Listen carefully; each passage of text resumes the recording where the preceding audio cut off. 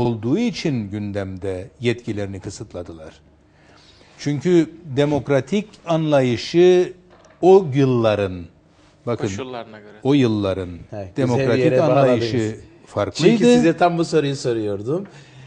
Ben başkanlık sistemine karşı değilim ama muhalif olanlar der ki işte diktatör bir adam gelirse başkanlık Tabii, tabii. sisteminde eser keser Tabii tabii. dikkatli Çünkü olun Onun der. önlemini al- almak lazım onu Tabii. diyorum Evet. yani. Çünkü kazananın her şeyi kazandığı, kaybeden her şeyi kaybettiği Tabii. bir düzen ve mu- yani muhalefetle çıkarları uyuşmayanlar bu sefer kendini yanlışa itecek, Tabii. e, düzenbazlığa itecek ve kazanması için bir şeylerin yanlış yollar çıkardı bu sayede tabii. Şimdi tabii onlar bir yana e, fakat e, önemli nokta orada o günün anlayışı farklıydı. Denktaş Bey bir diktatör gibi davranıyordu. Unutmayın Denktaş Bey bir e, e, nedir o yeraltı mücadelesinden çıkmış bir lider. Teşkilattan Evet, gelmiş. Tabii teşkilattan dolayısıyla bu da doğaldı yani ben yadırgadığımdan veya bugün geçmişi eleştirdiğimden değil elbette eleştiriyorum eleştiriyordum da ama yani bu o günler içinde e, birdenbire e, çok partili demokrasiye çünkü unutmayın Cumhuriyetçi Türk Partisi ilk kurulan partiydi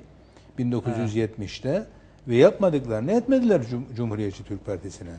E, adaylı adaylarını e, e, bas, baskıladılar vesaire bir sürü sorun yarattılar. Ve çok partili düzen 76'da gündeme geldiğinde Cumhuriyetçi Türk Partisi hatırlıyorum. Hani ya da çok partili düzen Rum'a yarayacaktı. Hani ya da vatana ihanetti diyordunuz filan diye e, UBP'yi eleştirdiği eleştiriyordu. Yani anlayış oydu o zamanlar. Sonra çok partili düzene geçilirken sen bir tek kişiye Cumhurbaşkanına seçildi diye bütün yetkileri verir miydin? Tabii ki muhalefet olarak buna sonuna kadar direndiler. Ne zaman artık biz 1996-98 yani 2000'li yıllara doğru Cumhuriyetçi Türk Partisi olarak o zaman ben CTP, ECTP Genel Başkanıydım. Cumhuriyetçi Türk Partisi olarak ilk defa başkanlık sistemini tartışmaya hazır olduğumuzu duyurduk o zaman. Onun öncesinde hayır. Ha, Çünkü artık da- demokrasi görüşü de değişmiş. Tabii canım her şey değişti.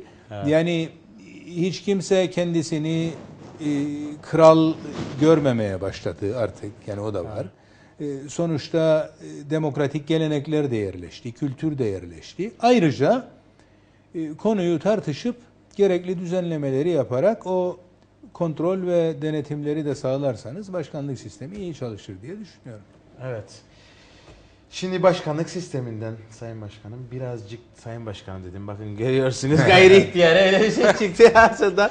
Belki de bu geleceğin habercisidir onu bilemeyiz artık ilerleyen zamanlarda göreceğiz ama biz Tam bu noktada bir soru vardı bana. Sayın Ee, Erol e, şey var mı diye. Size bir tek- aday olur musunuz Evet. diye. Evet. Böyle bir teklif E, o aslında cevapsız kaldı. Biraz yani Evet işte onun politik için bir cevap ol, Da oldu demeyelim ama Geçiştirme- biraz geçiştirme üstüne niyetim, şey yaptık. Geçiştirme niyetim yok yalnız şu var. herkes o Hiçbir zaman şekilde- öğrenecek şu an. Hiçbir şekilde herhangi bir göreve şimdiden asla talip değilim. Hiçbir göreve. Yani e, çünkü bu iş konjonktüreldir. O konjonktür uygunsa önce bir ihtiyaç varsa iki e, kazanma ihtimali yüksekse Evet. kazanacaksak kazanacaksam Evet. bir göreve gelmeyi düşünebilirim. Yoksa ben her seçime katılan e, bir şey olamam. Par- bakın parti başkanı olsam evet. Ama parti başkanı da değilim artık. Parti başkanı olmadığıma göre her seçime katılacak pozisyonda birisi de olmamam lazım. Ha, parti başkanı olsan partinin faaliyetleri içerisinde her seçime elbette parti başkanı katılır. Şu an bir ofis kurdunuz ve bu ofiste de bazı faaliyetler yürütülüyor. Doğru. Ee, insanlar bunu şöyle düşünüyor. Diyorlar ki acaba Sayın Talat başkanlık sistemine mi hazırlanıyor? Yani sizin kurduğunuz ekibiniz yine Cumhurbaşkanlığı dönemindeki ekibiniz bakıyorum yine aynı ekibiniz yine yanınızda ve çok iyi faaliyetler çalışmalar var.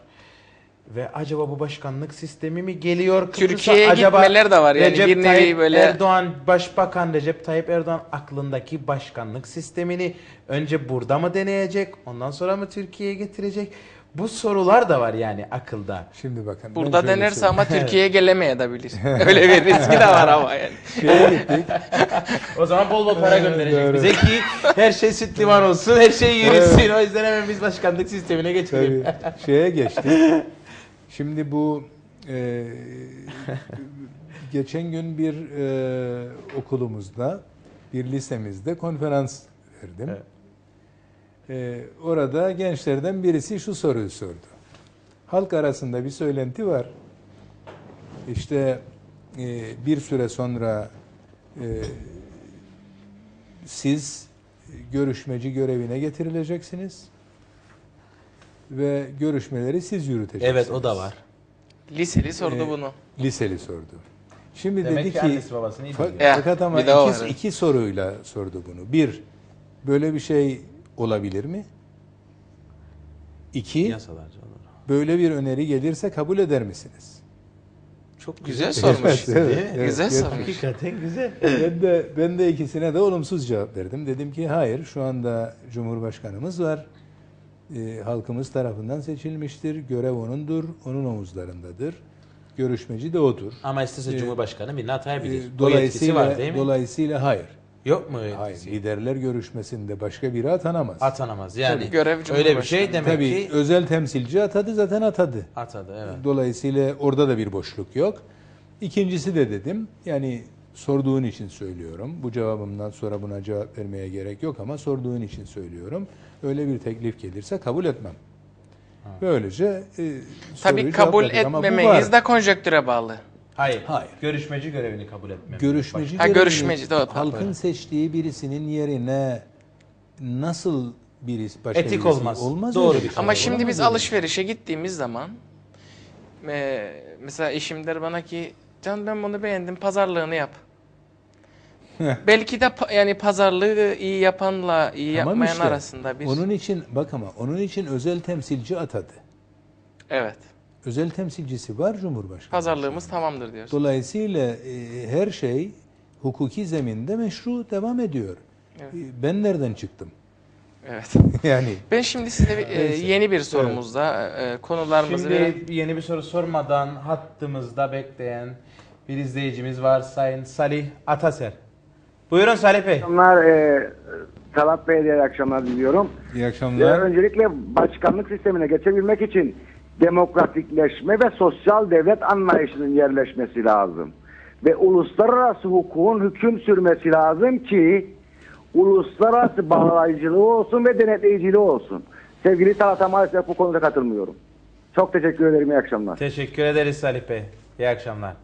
Evet duydunuz. Evet yani şey e, uluslararası hukukun hukuka bağlı olmak demekle Kıbrıs sorununun çözümünü kastediyorsa e, yani evet bir faktördür e, ama hiçbir zaman bir ülkedeki e, iç e, uygulamaları uluslararası hukuk kontrol etmiyor. Kontrol edemez ve burada da bir Kontrol yaşam etmiyor. sürüyor Öyle bir sonuçta. şey yok. bir yaşam düzen var. sürüyor. Kendi denetiminizi kendiniz yapabilirsiniz. Dedim ya Evet. meclis yapar. Meclisi de halk seçer. Sonuçta halk yapar. Evet. Şu anda şu andaki durumu düşünün. Evet. Ne yani parlamenter sistem ille de çok mu demokratiktir? Kim demiş onu? Parlamenter uluslararası hukuk mu denetliyor şu anda bizi?